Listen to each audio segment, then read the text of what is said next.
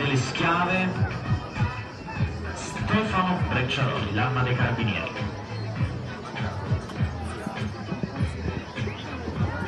Serena Pallicini con Garzia